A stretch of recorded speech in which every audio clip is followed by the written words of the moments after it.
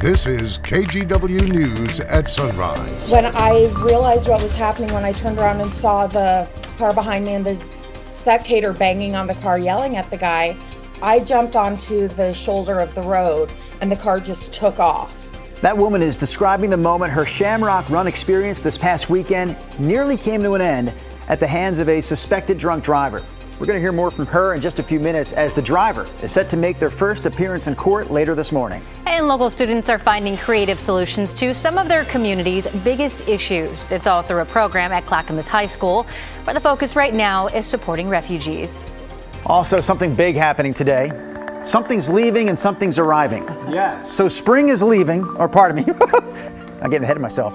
Winter is leaving. That, that was an accurate slip, though. Spring is arriving. Oh yeah, I guess you're right, Chris. Uh, the countdown to spring right Oh, there on your screen. Yeah, we have a big countdown. What's it say? is fancy. 15, 15 hours, hours. 4 minutes, 56 seconds, like I'm going to count it all the way down to the final second here. It's only going to take me 15 hours. We hate to let you down to the uh, arrival of spring. Yeah, so you're right in that Yeah. spring technically arrives today, but spring-like weather will be leaving us very shortly. I will say though, um, we could still hit 60 tomorrow. We could still hit 60 on Thursday, and if it weren't for what we are just getting out of, That wouldn't seem I mean, so 60 bad. is pretty nice, Yeah, really. right. Yeah. Here's a look at uh, we have clear skies over downtown, the Rose City camera this morning. 49 is the current temperature.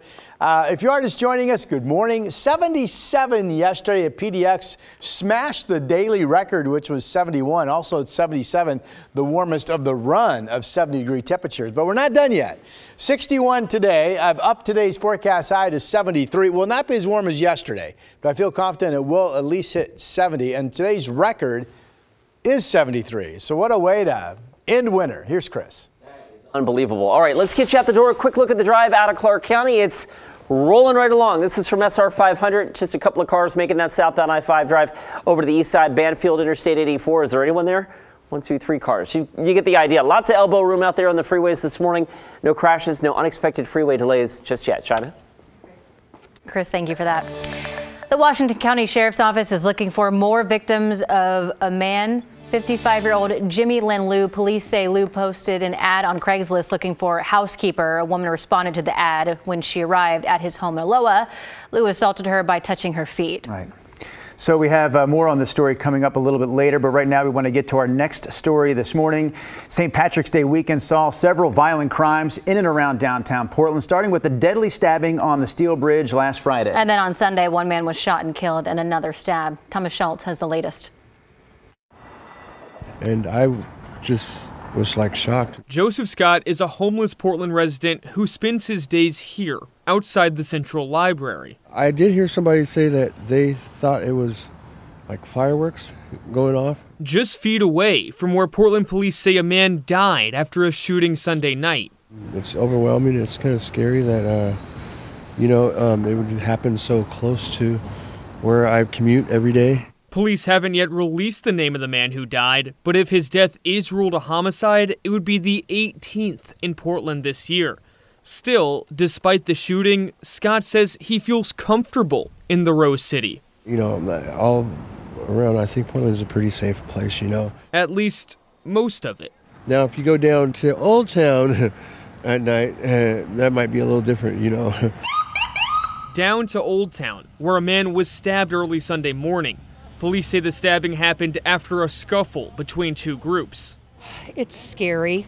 It's always scary to hear of things like that. Darlene Urban Garrett works in Old Town, and she says crime is becoming more common. I don't know what to say. It's like not an uncommon thing to see ambulances and fire trucks and police every day. The reason? I think drugs are the uh, are the underlying cause of so much that's going on here in the city. Now, police have not said whether drugs played a factor in either incident, though to Urban Garrett, it's why she's no longer surprised by violence so close to work. It makes me sad, but it's not shocking. That was Thomas Schultz reporting. And so far, a person has been arrested in the Old Town stabbing, but not in connection with the shooting. As for Friday's deadly stabbing on the Steel Bridge, a suspect was arrested Saturday. However, yesterday we learned that those charges were dropped and the court ordered the suspect to be released. We're still working to find out why. We also have an update this morning on the man who stabbed two teenagers in a racially motivated attack on a MAX train last year. That man will spend the next 18 years in prison. As part of a plea deal, Adrian Cummins pled guilty to four charges, including one count of attempted murder. The stabbing happened last September on a MAX train in southeast Portland. Two 17 year old boys, both of them black, were riding on that train when Cummins yelled the N word at them and then attacked them. According to prosecutors, one of the teens was stabbed in the arm, the other was stabbed in the chest. Both boys have since recovered. This morning, we're hearing from a runner nearly hit by a suspected drunk driver during Sunday's Shamrock Run. Devin Haskins is live outside Multnomah County Courthouse. And Devin, that driver will be in court later today.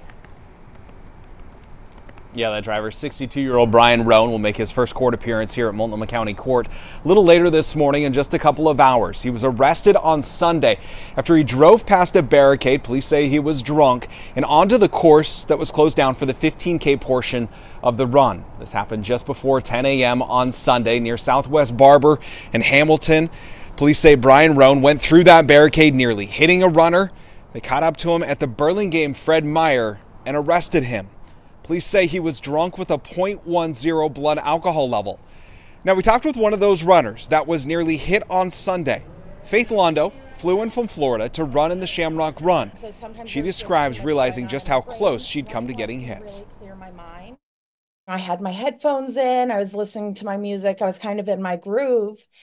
And all of a sudden, I heard like a car's engine revving nearby, which I thought was kind of weird because there wasn't supposed to be anyone on the course, but also there were neighborhoods nearby. So I just wasn't paying much attention until I heard a commotion behind me. And one of the spectators was actually banging on the door of the car that was maybe six inches away from me. Brian Roan faces uh, Brian Roan faces multiple charges, including DUI, reckless driving, and reckless endangerment. Back to you. All right, Devin Haskins reporting live for us this morning in downtown Portland. Also this morning, we're following up on a story we brought you last week here on Sunrise. It was part of Devin's Emmy-winning series that we call What's in a Name. Now, the one focused on Mill Ends Park and how it got its name and the man whose legacy lives on through it, Dick Fagan. In that story, we told you that Mill Ends Park became a park on St. Patrick's Day 70 years ago. Fagan's family celebrates the Irish holiday at Mill Ends every year, and this year was no different. They sent us these photos from their celebration on Sunday. You can see family members, young and old, gathering to remember their loved ones.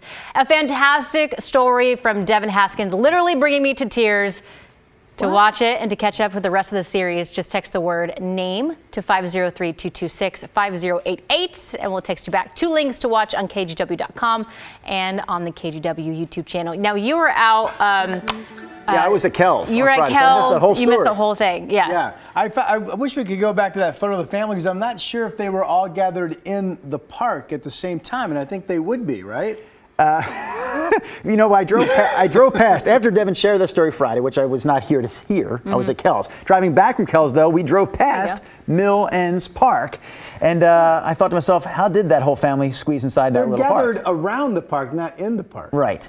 You can only get one person Rod in that park Hill. at one time. Well, I really. suppose that's true. Oh my Lanta! we have to be careful. Let with it happen. Let them have the moment. So we're um, not in spring yet. No. We're kind of around spring. Ooh, great segue yes, out of you. That was good. Uh, our run. Today's the seventh day of dry weather, Mr. Carney. We haven't yes. done that since the final week of November. Hmm. Our temperatures starting back last Thursday 66, 71, 76, 76, 77 yesterday. Hmm. Smashed the record for yesterday's date, which was 71. And today, 73. Uh, we could tie the record today. A lot going on, on that, that piece of When the glasses and yeah, paper right is out, okay. it is business. It's, it's business. Uh, and with all of that said, Today, the finale. I hope you can enjoy it. Sunny skies, temperatures at least 70 or better. Tomorrow, clouds will be back, and then every single day, literally as far as the eye can see, has a rain chance in it once again. But tomorrow, not much rain around, just a few showers and, and perhaps only in the PM hours. Thursday, again, just a few showers, lots of dry time. Both days could hit 60. That's still nice weather spring begins. And then Friday, likely afternoon rain. And this is when all of a sudden, okay, now it's raining. Now the yard's getting a good soak into the weekend. Rain totals this weekend could be about three quarters of an inch here in Portland over the two day period. And the weekend snow level down to 3,000 feet. So that would More than a foot of snow will come to the Mount Hood resorts, which is great news for the spring break season as this weekend kicks off the two weeks of you know back-to-back spring breaks in our region. All right, here's the upper level high. It was here and it was bigger and stronger. Now it's here and it's weakening, but you see the clouds are still back here in terms of weather system. So this is the finale of this ridge holding tight and bringing all the warm weather. Second morning in a row, we do have marine cloudiness. Uh, actually, going back to Sunday, third morning in a row, I believe. Um, yesterday, the clouds broke. Today, they may not. So, you folks in Newport, you could be cloudy all day. 46 is your current number. If you're cloudy all day, you won't get much above 50. We have clear skies inland. Salem, good morning, 44. The Dalles, good morning, 42. Out in Burns, good morning. You are freezing along with Baker City. Here's our Futurecast movie. Shows you the morning cloud cover at the beach. Shows it kind of breaking, if this were exactly right, up around the uh, parts of Clatsop County, maybe in the Tillamook, but it holds the clouds down in Lincoln County. And then here we are tomorrow. You wake up, it's spring and it's overcast. Here come a few showers developing, mainly in the afternoon hours into the evening.